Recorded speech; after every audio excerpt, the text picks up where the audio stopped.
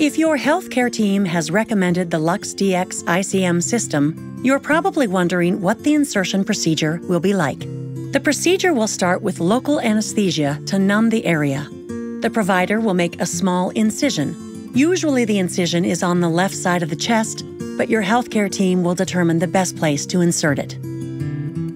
The LUX-Dx ICM is small, about the length of a paperclip. It runs on a battery that's safely sealed inside the device.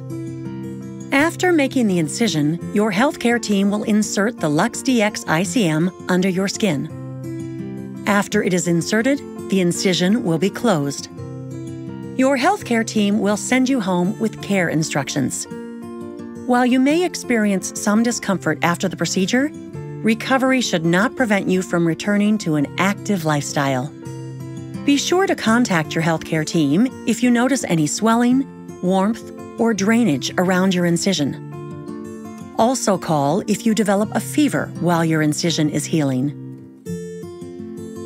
Keep in mind that side effects are unlikely, and recovery from your insertion procedure should not prevent you from returning to an active lifestyle.